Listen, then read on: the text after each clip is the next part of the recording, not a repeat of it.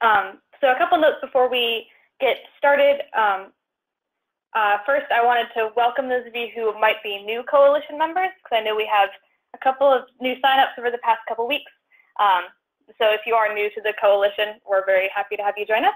Um, I also wanted to let you guys know that this webinar is being recorded uh, and will be posted online later. Um, so after the webinar, I'll be sharing some resources and information along with the recording of the webinar, um, but wanted to let you all know that that's happening. Um, and then finally, if you have questions um, throughout the webinar, you should be able to ask them via chat um, through GoToWebinar. Um, and we'll pause a, couple, a few times throughout the process um, to answer some questions. So first, we're going to go through a brief agenda for what we'll be talking about today. Um, we'll do an introduction to the appropriations process for those of you who aren't as familiar with how DC works as we are, uh, and, and talk about the key times that it's important to meet with your members of Congress throughout that process. Um, we'll do an update on the federal funding for Healthy Homes programs uh, last year and then an outlook for this year. Um, and then we'll talk about in-district outreach, uh, why it's important, and how you can participate. Um, and then look ahead to what we have coming up this summer. Um, so to start, I'll turn it back over to Darcy for the appropriations process. Hi, everyone. Um, the appropriations process is a fancy word for how we get money to spend on things that we care about. The federal government has a budget, and the money that is spent in that budget is decided upon by members of Congress. The president starts out at the beginning of the year uh, identifying his priorities or her priorities and presenting a budget to Congress. However, the president doesn't actually have the power of the purse. Members of Congress do. So the budget is more what we would refer to as a suggestion from the president. Talks about what he would like to see money spent on. Then, as that budget arrives, the House and Senate, long ago and far away, in a time I still remember, also used to write budgets and say that they thought those were their priorities and then reconcile those budgets and pass them. Uh, in the last decade, they have really allowed the budgeting process to go by the wayside. It didn't have any authority. It didn't actually say what was getting spent. So they've just stopped writing budgets now. They go directly to the appropriations process. So there are um, specific, there's an appropriations committee on both the Senate side and the House side, and those members break up into smaller groups and have what they call subcommittees. Those subcommittee appropriation members decide how much money is going to be spent. Uh, on the House side, they create an appropriations bill, and on the Senate side, they create an appropriations bill. So the subcommittees get input from all their other members. So a House member would go to a subcommittee member and say, I really want this amount of money spent on. I really want this amount of money spent on. So they actually get input from other members of Congress they also get uh, input from the public at large. They get input from lobbyists, they get input from industries, they get input from all the different entities that might be affected by government money being spent. So those subcommittees get their uh, requests in pretty early in the year. Um, typically, the House is a little bit earlier than the Senate, but in March and April, they need to know what outside entities or what other members of Congress want them to put in their appropriations bill. Then the next part of the process is that this, the bill becomes a public document. It is released after the subcommittee has met and made the decisions about those numbers, and everyone in the public then gets to look at that bill and see how the spending is being suggested. That once again, a number of comments happen at that point, and the committee will actually have a hearing on its spending bill that is open to the public and there will be um, there will be people who come in and testify potentially there'll be members who ask questions of each other about what the markup is going to look like and they gather as much information and input as they can to come to agreement on their bill then the whole subcommittee votes on their bill and says yay or nay and then as it goes to the full appropriations committee, there's a vote that says yay or nay. So it's usually very unlikely that a subcommittee or a full committee appropriations bill would not pass because they are voting amongst their own colleagues for their own bill. So when it gets to the floor, it's been pretty much, you know, had a lot of input from lots of folks across the spectrum, and it's a pretty much agreed upon process. So one of the challenges that has gone on in the in more recent years is not that there isn't agreement and that there isn't money that people want to spend, but it's that they need to get them all done in a certain amount of time. So what has been happening typically in the last few years is they get through with the bills that they really prioritize, like defense and um, military construction, and those bills get voted on. But then they get a little slower when it gets time to get their housing bill done or when it gets time to get their labor bill done. And those end up stalling and not being brought to the floor. So we've had in recent years a number of cycles of continuing resolutions. So on October 1st, we run out of money in the government every year. And so we have to do something to fix that. So in September, there's a scurrying around activity, and we have what is called a continuing resolution, which basically means keep spending at the level you were spending in the past. Continuing resolutions are not very controversial because they basically don't allow anything to change, but they also are pretty um, damaging to our uh, system because there are times when the amount of money we spend needs to change. We need to spend less on something and more on something else, and a continuing resolution just keeps the money capped at the level it was the year before. However, because it lacks very much pain, it has been a common placeholder that we've been using. So more money gets put uh, on the checkbook while we get through the fall, typically while we get through the election cycle. That's usually an important one. And then we get to uh, after the election, the need to actually identify our spending costs. And so what we have done at this point typically is that the House appropriations members and the Senate appropriations members get together, talk to each other, agree which numbers they're going to let go through because sometimes the House would appropriate a certain amount and the Senate appropriates a different amount. They have to come to agreement. They get a, an agreement on all their bills and how what they're going to spend, and then they put the whole thing on the floor as an omnibus, typically attaching it to a piece of legislation they know will pass. And by the end of the year, they've signed up for new spending that way. So during this cycle, the most important times are obviously getting out in front of um, the requests that happen at the beginning of the year, tracking the bill you're interested in to find out when the committee is taking it up on the floor in midsummer, and then there's a little bit less influence you really can have on continuing resolutions or the omnibus because the numbers are pretty well decided. But in the end of the year, if there's a specific number that you feel like you really want to advocate for in the omnibus, that's where you have your next opportunity. Sarah, you want to move to the next slide? Yeah. So we have areas that this coalition is very interested in, and they have um, there are specific programs, obviously, that the federal government runs, and certain funding that is uh, typically guaranteed to be helpful to the issues we care about. Everything from CDBG grants to um, the lead program at the CDC, the lead money spent out of HUD, um, asthma programs, et cetera.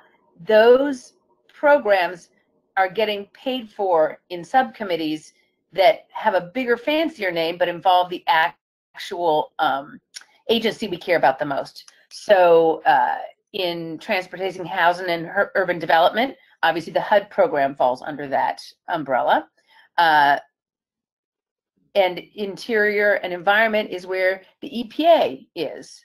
Uh, labor, housing, and human services is where we find our um, Center for Disease Control funding. So if there are specific programs that your um, program back home is accessing, it's very important to know what larger committee is in charge of the money for that particular program. It's very effective to go in and talk to offices about a program that's having physical effect in their district and then tying it to where those funds come from. So we will, we will do everything we can to help you be as educated as possible about which committees are having influence in your community and why the message you're taking to your members affects the particular committee assignment. Next page. Okay, um, so I'll go over a bit of an appropriations update in terms of what's happened over the past year, um, focusing on the healthy housing programs that the National Safe and Healthy Housing Coalition has submitted requests for in the past. Um, so the big news in terms of lead poisoning prevention funding that I'm sure many of you are aware of is the big increase we saw from 2017 to 2018 at the HUD program, um, an increase of 85 million dollars, um, and then also the increase at the CDC program for lead poisoning um, from 17 to 35 million dollars last year in fiscal year 18. Um, so I'll go over, over, a little bit what that looked like at each agency level um, for some context about what's happened um, in recent months. So at HUD, as I said, we've gone from 230 to two, or go gone from 145 million in fiscal year 17 to 230 million in fiscal year 18, um, which was really exciting. And those of you who have worked with us at the coalition for a while um, and have been involved in healthy housing advocacy may recognize that number as one that we've advocated for for a while and, and know how important this program is. Um, this year, in fiscal year 19 so far, we've seen that um, both the House and the Senate bills um, want to at least keep that number where it is. Um, in the House, it's keeping it at 230, and it in the Senate um, have has proposed to increase it to 260 million dollars. Um, so we'll see going forward if that increase in funding proposed by the Senate could potentially get carried forward throughout the rest of the appropriations process. Um, and here's a kind of graph showing in, in zoom in on what that change in funding has looked like, like over the past couple years, uh, and really how significant it was that there was an increase last year.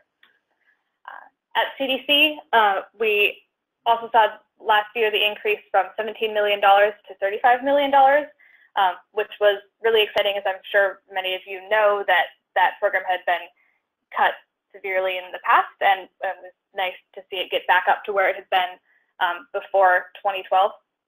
And we also saw level funding for the asthma program and the tracking um, network, which was, um, well, not quite as exciting, still fortunate that those programs were able to be preserved at their um, funding levels and continue the work that they were doing. Uh, both the House and the Senate bills for all three of these programs have um, looked to keep level funding uh, at the higher level for lead and then at the same levels for those other two programs going forward. So that's what we're expecting to see for the rest of fiscal year 19. Um, and this illustrates, if you're not familiar with this history, the um, what the what the lead program has faced at CDC and how it has now gotten back up to where it used to be.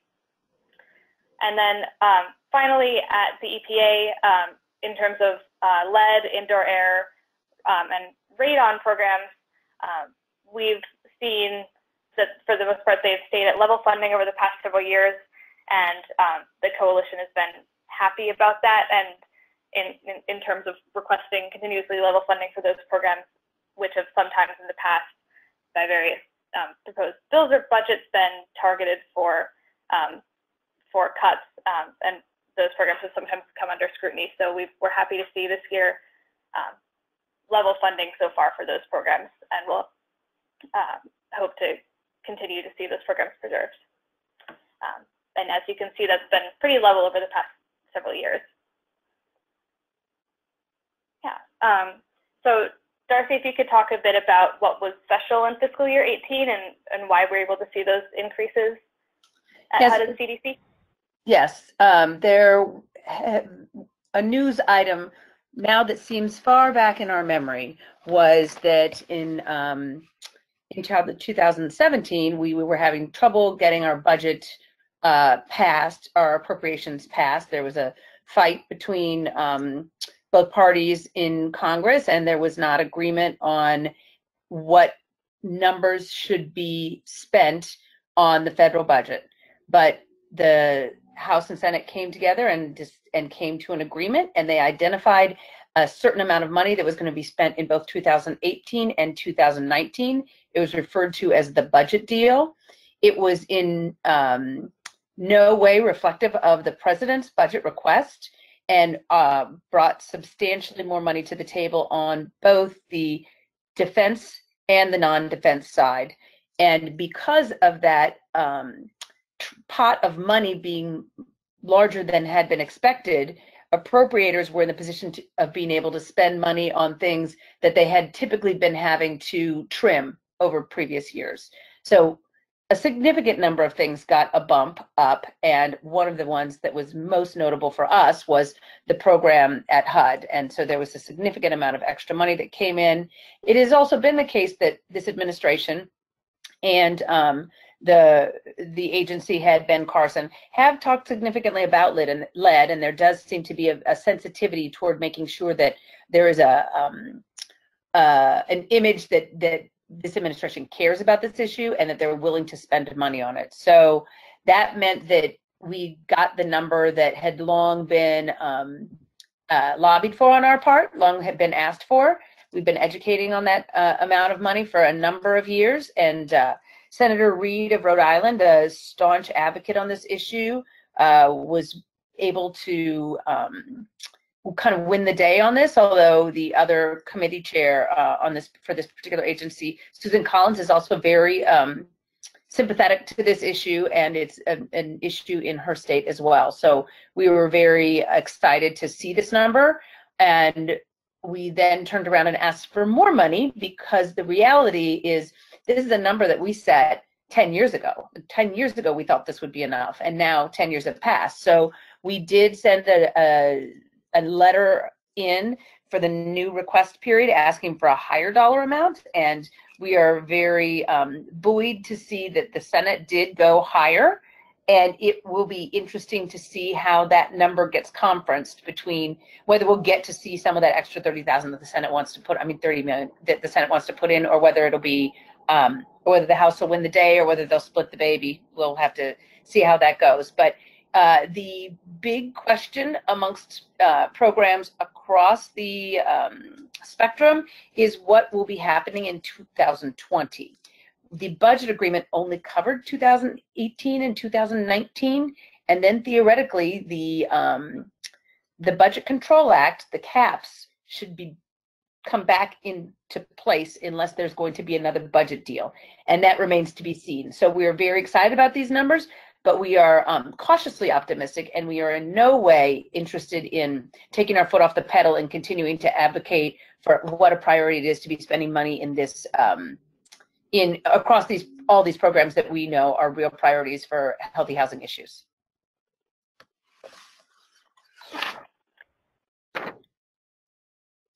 Um, are, are there any questions about the funding numbers um, that we've seen? As a reminder, you can submit questions, I think, through the, um, the chat function or as a question um, through GoToWebinar. So if you have questions throughout the webinar, go ahead. Um, but otherwise, we'll move on to the next section about in-district outreach. Yes, so thank you all for being on this call. I hope that being on this webinar means you have interest in learning a little bit more about doing um, outreach to your members of Congress. When we periodically have uh, opportunities to have folks fly in from around the country and have a day on the Hill where we take people to the offices to talk about the issue, and it's exciting and great when we are able to do that. However, the reality is that there's a myriad more opportunities uh, for interactions with your members and their staff back where you live. Number one, you're able to um, talk about your program, show them examples of your program, invite them to your program, uh, give them relatable experiences about what's happening with their constituents at home. Number two, it's someplace that you can easily get to. So you can go to an office for your member in a town either the town you're in or a town close to you fairly easily. That's not a three day flight to DC, not at work, not, you know, doing all these other things. Um, the other a really effective aspect of the in-district outreach is you could potentially even take somebody else with you who is, can speak to the story of what is um, what is going on. We recently worked with some folks from Flint who came into town and um, took them to the Hill, and it was a great experience. But back home, they were able to talk, you know, day to day with their members and have on the ground examples and have children that they can take in and talk and um, really have effective engagement versus only having the people we bring to town. Um, I was going to go back and look. Oh, those questions, they're not one that we need. Okay, sorry.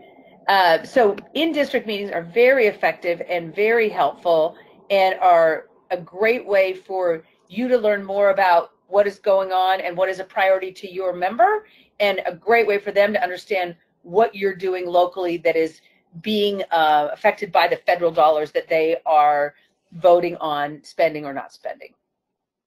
Next slide.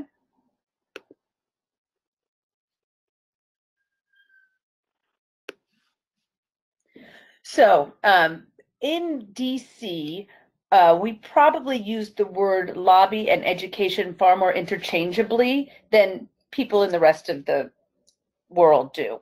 So the reality is, if you are going into an office to talk about how federal dollars that are coming to you through CDBG grant, through HUD grant, through you know whatever program you are accessing or working with, and talking about how it's affecting your community, that is in no way lobbying. Lobbying is very strictly um, legally identified as saying, I want you to vote for Bill XYZ. This is the number of the bill. This is what I want. If you are talking about Bill XYZ, you go in the office and says, this is how Bill XYZ affects your constituents. This is how Bill XYZ does something that's helpful. That is not lobbying. That's called education and you are a font of knowledge and a resource for your member and your member staff about the issues that are affecting their community. And so you being there to educate them about what's happening on the ground is not lobbying and there's you should have no concern about it being a conflict of interest related to the work that you're doing. Um, you can, and even with um, with the conversation about a program that you're having access to, you know, you can explain how the CDBG grant is helping you. You can explain about how the HUD program is helping you. That doesn't mean that you have to say, you can say, thank you for the new level that we're funded at, but you don't have to ask for a specific number. You just explain how it is affecting your efforts and improving the situation on the ground. Uh, National Center for Healthy Housing is a 501c3, and so it is uh, Uh, that is a tax exempt organization. And so by law, they follow different rules than a for-profit corporate entity. But even under 501c3 laws, a certain percentage of my time as a person who works with the National Center is allowed to spend, be spent making a specific lobby ask. So I can talk about a bill number because it's a specific amount of my time. There is a cap on how much of my time I can do that. I need to be doing other 501c3 things in other parts of my time, which is educating, doing webinars, talking about ways for people to engage, educating members and staff here in DC. Uh, there's a myriad of things you can do that do not cross the line of um, what would be uh, specifically called lobbying. Next slide. So we're going to have um, Jo Miller tell a little bit of a story here about the visit that she went with uh, folks in Minnesota. Jo? Well, hello there. Um, yeah, thank you, Darcy. Thank you, Sarah. Uh, we um, are really fortunate here in Minnesota. We have a lot of representation of the coalition and of the National Center for Healthy Housing. So last year, Joan Cleary, she's an NCHH board member and the Minnesota Community Health Worker Alliance executive director, and JoJo Liebler, I always say that wrong, Liebler, uh, she's also an NCHH board member and a production manager and producer for um, 2x4 Productions, who's worked with local government, the Mayo, um, and many others, producing videos for training and um, advertising, etc. And then myself, at the time, NCH Senior Communication Advisor and the National uh, Safe and Healthy Housing Coalition Committee Chair and um, member, of course. So we met with uh, Chow Lee, at Congresswoman Betty McCollum's office. And you saw her name early on in the slides here. Um, she's with obviously Minnesota. She has been the champion of education, healthcare, and infrastructure. She serves as the leader of the Interior Environment Subcommittee, and in 2016, that subcommittee appropriated about 30 million, 30 billion, excuse me, 30 billion dollars for EPA and many other organizations within the community. So um, that subcommittee is very active and obviously very important to our work.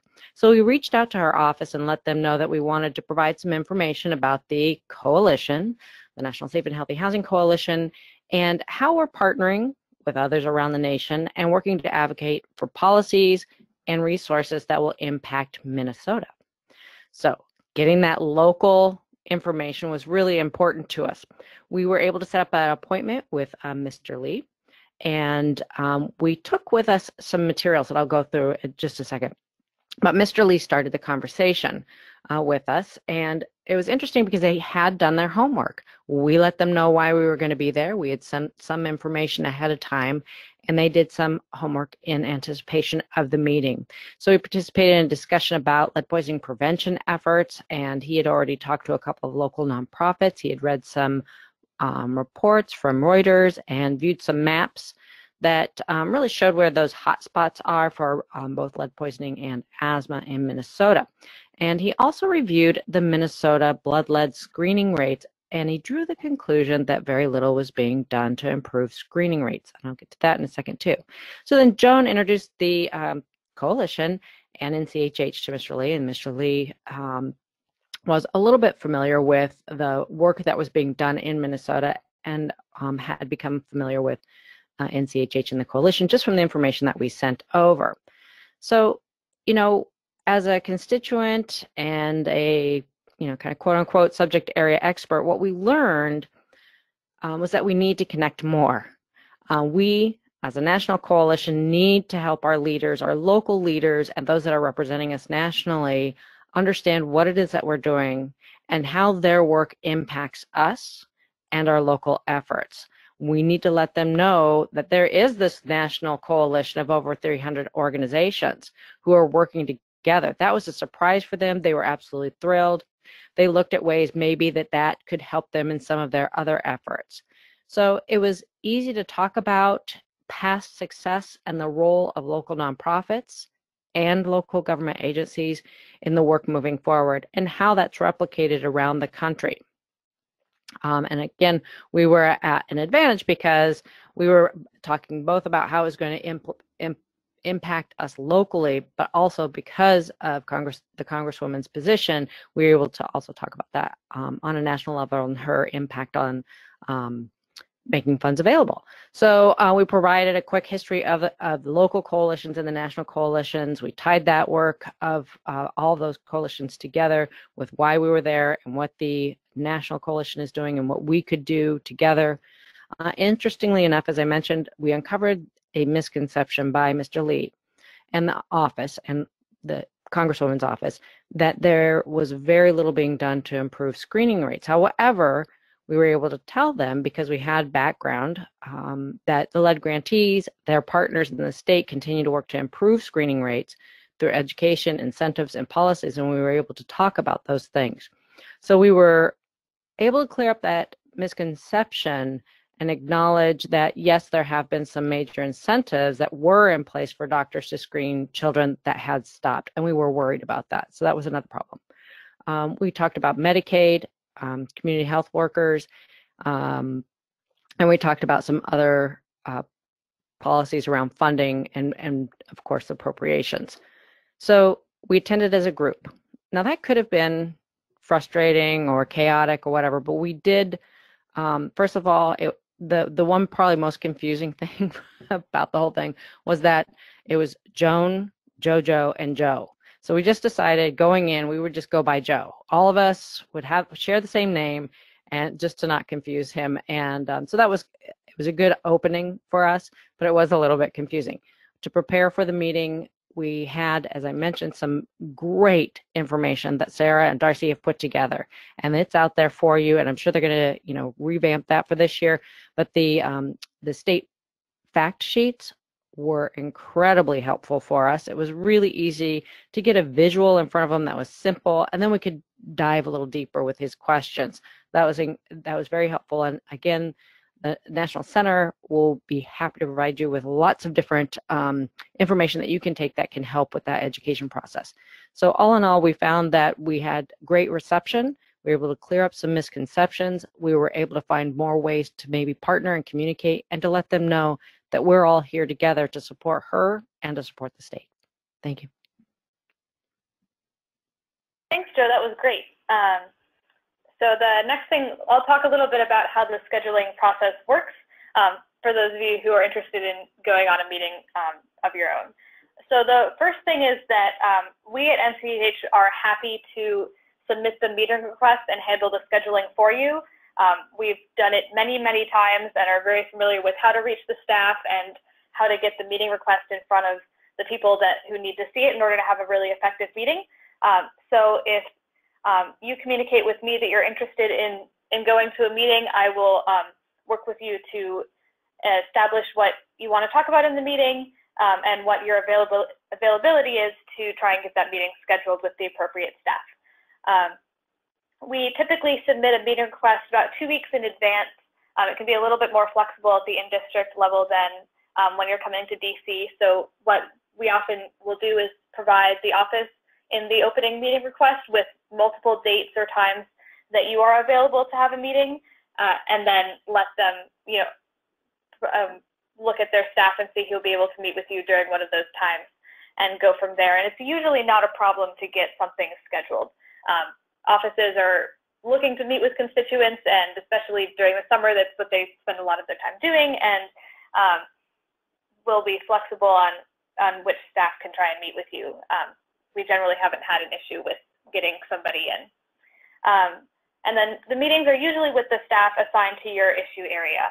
Um, so another, reason that we're happy to submit the meeting request is that we can get a feel for which staff in the office might be the appropriate people for you to meet with based on um, they might be covering the part of the portfolio that includes the work that you're talking about. Um, Darcy, do you want to talk a bit about how to prepare for the meetings? Yes. Uh, and it's going to segue nicely with what you were just saying, Sarah, which is uh, that you will probably be meeting with staff. So I know that a lot of people have an image of this, you know, glamorous role of the member of Congress. You have to get to talk to the member of the Congress. They're the ones who make all the decisions. It is true that the member makes the decision, but in every office, there is one member, and then there's a phalanx of staff who are gathering all the information to provide the member. So the member is definitively not an issue expert on the things that you care about in healthy housing. However, there's a staffer who's assigned to know as much as possible about that issue, and that's the person you want the relationship with. You would like to create an environment where that staff person thinks, oh, I have such an important question about um, healthy housing in for our district, and I just, who should I call? Oh, right, I know who to call. I can call Jo Miller because she came with all of her Jo friends and visited, and they have all kinds of good fact sheets. I'm going to reach out to her and find out what I need to know. And that staffer is acting on behest of the member. So I want to reinforce that meeting with the staffer is a vitally important thing to do and do not feel um, slighted. It's the opposite of a slight. It's where the relationship needs to be built. Um, so when you're going to a meeting, you're going to get a wide range of uh, potential outcomes. There could be some staff that you get in there and they've really worked on this issue for a while and they know it pretty darn well. Having gone with the Flint folks to visit the Stabenow staff, you know, Debbie Stabenow's staff is pretty hip to the Flint water situation. There wasn't a lot of education needed there. However, you might meet a staffer for whom, although it's in their portfolio to have concerns about this issue, they've never really had to bother to think about it. They didn't, there wasn't, there weren't a lot of requests coming in about it. They didn't realize that there's an agency working on it in their district. It, it could be that it's a brand new experience. That's why we, when we provide you all with materials, try to get them into the member staff person's hand prior to your meeting. So you know that you are at least starting at a base where there's some understanding about why you're coming in and what you want to talk about. So uh, one of the most important things is that Um, if you if we have identified some folks who will go from an area, you know, there might be an individual going or there might be two or three people. We try to make sure that we have a call together so that we can have a conversation about what will happen in the meeting and what to expect and and what that member does in Congress. Are they on specific committees that are important? Are they going to vote for something coming up? You know, we try to give you as much background as we can to prepare you for um, what conversation they might have. Um, go ahead and go to the next slide.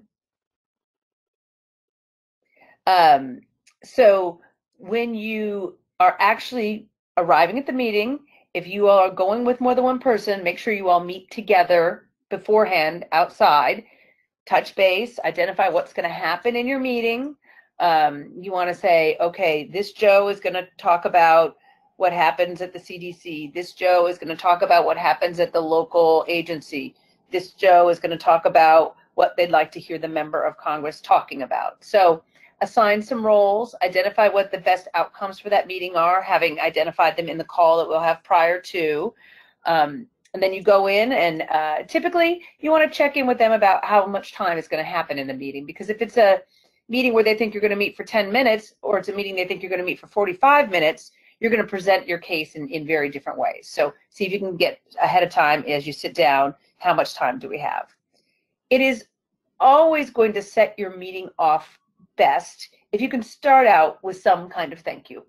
The good news is because we've had these um, good uh, recent appropriations numbers, you can always start out, even if that member didn't vote for that appropriations bill, even if that member was a no vote, you can still say, I want to thank you for what Congress has done uh, for these um, funding areas that are so important to our programs back here at home.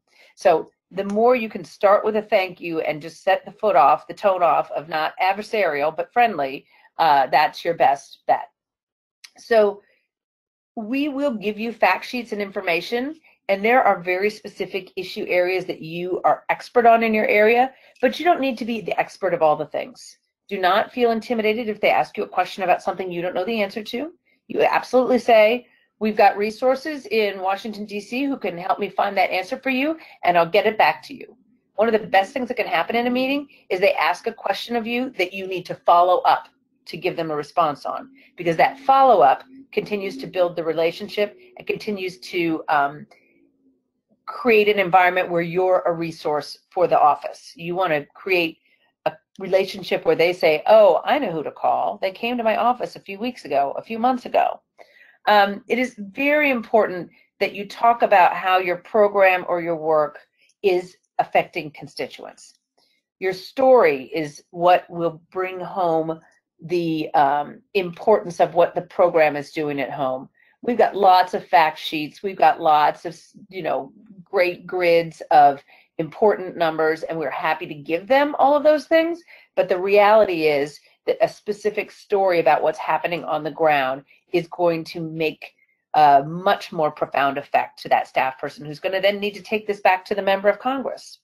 So once again, you identify the story that's going to be the most compelling about how those funds are helping at home, and then make sure that you are able to tie it back to the funding that has made it happen, and then uh, make sure that you leave with as many questions of theirs answered and as many questions as you need to bring back to us for us to help answer if they ask something outside of your technical expertise. We also would like to really reinforce that after you leave the meeting, you need to write down what happened. It is amazing how many people in a meeting, first of all, multiple people in a meeting hear different things. So you'll be surprised if you see one person's notes about the meeting is not the same as another person's notes about the meeting. And a few days after that meeting, the specific question they asked or the specific request they had is going to start to fade and fuzz. So the sooner you get onto paper um, a note to yourself about what happened in the meeting, the, the more clarity you'll have about how to respond and follow up and provide uh, more, more um, feedback. Uh, we also would like to reinforce that folks should send um, thank you note afterwards. So, you know, a thank you email. Once again, maybe attaching the document that you wanted to make sure they had, maybe uh, with a response that you got about a particular question they had, but make sure that you have your own report back, that we can um, talk to you about, but also that you send a thank you to the staff person that you met with because they that email connection then reinforces the long-term relationship that you're going to be as a resource. Sarah, do you want to turn the page? So in telling stories, it can be a little bit challenging to wander away you know too much from the main topic. So it doesn't hurt to kind of outline in your own head before you go to the meeting what how your story is going to look. So identifying um, kind of what the enemy is what the health hazard is that is um, that is going to be the the villain in this story uh, and then identifying ways to talk about it that have that that um, express the threat it is to your family community or state um, and then how the federal program that you're engaging with or state level program or you know they all get resources from a variety of different um, federal uh, pipelines as well uh, or even local program is doing to have impact on your family or where there are still needs where where we need to to shore it up. Um, and then how the the continued funding on those particular in those particular areas will continue to um, make the community as a whole healthier. And um, so making sure that as you think about your story, you kind of make these points uh, linearly so that you know it's going to have an effect. Um, it's good to have a little bit of a practice there. Um, next slide, Sarah. So once again, you need to identify your villain, your problem, your challenge, identify what's coming in from the from the federal government that's helping solve the problem, and then how that is in, encouraging and having a positive effect on the community over the long run. Next slide. So we definitely wanted to make sure that um, when you're when you've identified how much time you have in your meeting, that you talk about or think about what it is you want to say, how you're going to tell the story, what point you're going to make, what ask you have, but also think about, um, but also think about leaving time for them to follow up with you. So if they tell you you've got 15 minutes, you want to identify 10 minutes of things you're going to talk about to make sure that they've got five minutes to have feedback and conversation with you. We don't want to uh, absorb the entire time with a um, you know, with somebody at a podium, it is meant to be a conversation, not just a lecture. Uh, we also want to make sure that, you know, in these meetings, especially when they're uh, with local staff, there can be a little bit of a tendency to get a little um, down in the weeds about, oh, you went to University of Illinois, I went to University of Illinois. And it's good to make connections. It's good to connect and show that you're part of the community, but don't let the, um, the glad handing community conversation keep you from talking about the things that you got that you came to talk about. I've I've seen a member of Congress have a conversation about barbecue that took the entire meeting time up about which is their favorite barbecue. And then that's not what you came to spend your time doing. So go ahead and make sure you make a connection. If you both went, if you're both Illini, yay, but make sure you also get to the point of the conversation that you came for. Next slide. Oh, so we're looking at meetings this summer because this is the time when um, members and staff expect to see constituents. Sarah mentioned it earlier. There's more flexibility. There's usually typically more flexibility for you all as well. Um, if there are members that we are hoping to see, recess happens in in August, and so it's a time that we there's a chance to you know there's oftentimes meetings where They'll have you come in, say hi to the member, and then go have the meeting with the staff person for 15 or 20 minutes. And the member's just kind of like a photo op, and you say hi, and they know that you were there. But members are around more. And also, if you have interest in, as a follow up from your meeting, inviting the member to come to your facilities or come to a, a particular home or come to some example of your program, they're around in the summer to do that kind of photo op. And so it's a prime time for having those conversations. It's also the case that um, you know, we're still in the process of getting 2019 ironed out, and there's still an opportunity to, to talk supportively about the numbers that are in the House and the Senate and how you'd like it to, to be reconciled in the Senate's direction. That's still a talking point that's available while those numbers remain not um, fully reconciled. Um, So next, we're going to do a bit of a poll. So this is going to get um, interactive. I hope you're all still listening. Um, so I'll launch a poll uh, asking if you're interested in participating in an in-district meeting this summer. Um, and the options are yes, um, maybe, depending on scheduling or other concerns, or not at all. Um, so uh, you should all be seeing the poll on your screen. Um, and once just about everybody has voted, we'll move on.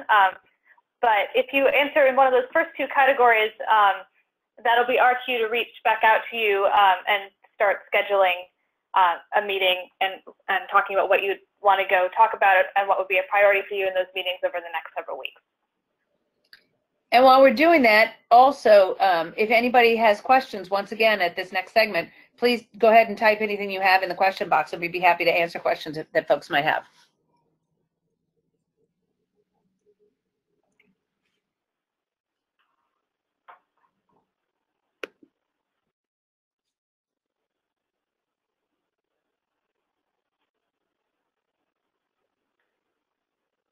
Well, I know that, um, I know that we have, uh, by identifying some of those committees for you all, uh, given you a sense of some of the places that are priorities for us. So we will also be looking through our membership list to identify where we have folks in areas that could potentially go meet with offices of uh, chairs of those committees. And so we're going to specifically reach out and say, you know, hey, can we find a few of you in this area to go visit um, this important member and uh, help queue it up that way as well. And also don't feel shy about saying, I would be interested or, you know, in the maybe or other concerns, but I really don't feel comfortable going by myself because we can then work um, to make sure that we identify some partners so that you are, so that you feel like you've got a partner to, to do this if it's something new for you and you feel um, like it's less than your highest comfort level. Uh, absolutely. I was also going to emphasize that again, um, Darcy, and that sometimes it might be the case that you, someone feels like they have part of the piece of the puzzle to tell a compelling story or to do a good meeting, but would like someone else to go with them who can provide the other side. Like if, if you have are doing program work that's really important to the community, but think that maybe there's someone else who could be um, provide a different issue expertise or something. Um, that's the the kind of thing we can listen to as well, and maybe try and connect you with someone else in your area um, who could go along to a meeting with you as well.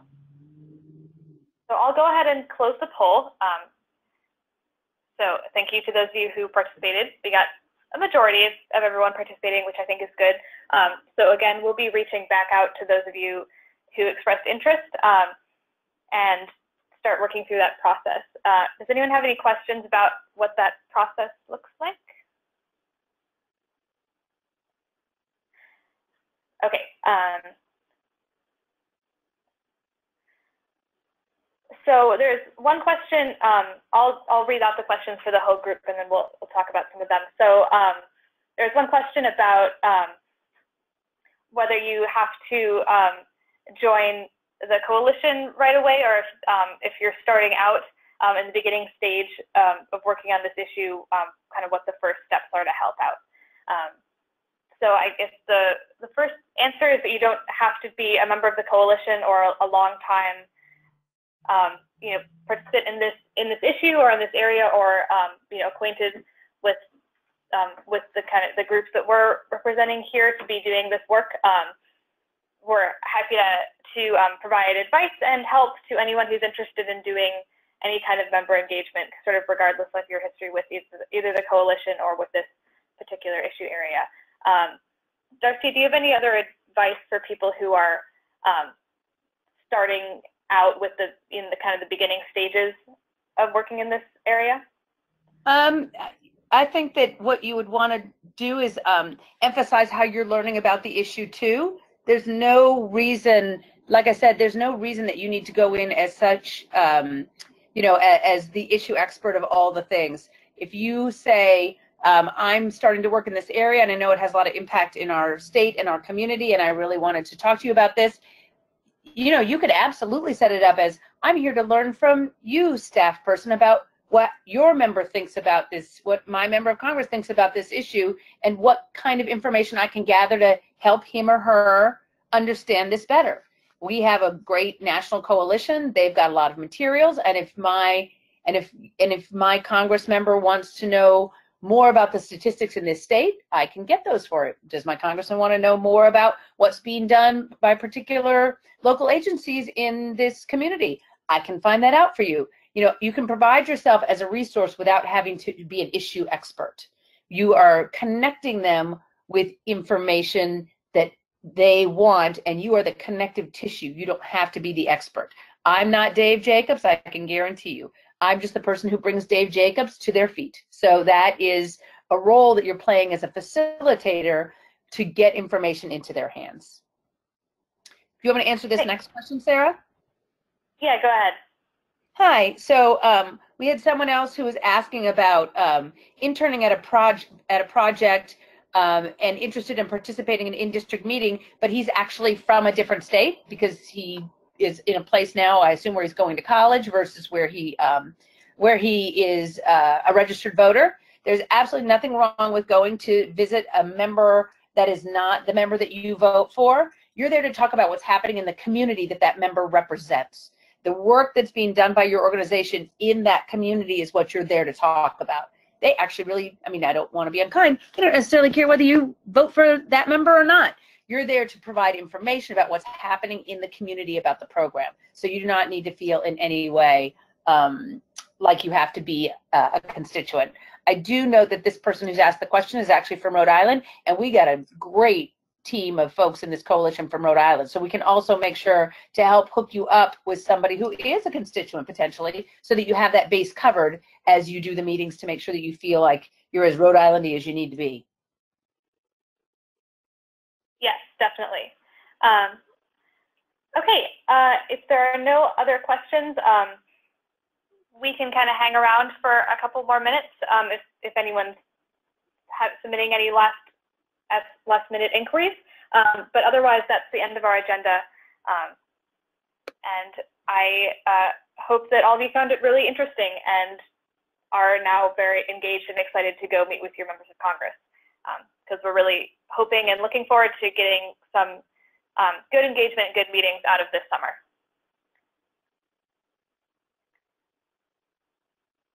Um, and as I said at the beginning, I think um, we've recorded this session, so I will be doing a follow-up email to coalition members and those of you who attended uh, the webinar about um, follow-up resources, um, some of which we linked to throughout the process of the webinar, um, and you know, with the recording, um, if you wanted to revisit anything that we talked about. Um, and for those of you who expressed an interest in meeting with a member of Congress, we will be in touch soon. And also, um, Sarah will be including in that email contact information for both she and me so that if you have any questions you either A, thought of after, oh, there you go, we got it on the screen. A, you thought of after we hung up and you forgot to ask, or B, you just wanted to ask one-on-one, we're more than happy to answer any kind of questions you have about how this process works or what you need, um, what you'll need to move forward and uh, be able to take those meetings. And we're more than happy to help. Absolutely. Um, the coalition is here as a resource for those of you who are already members, who are new members, or who are not currently members as well. Um, so feel free to reach out um, with any questions.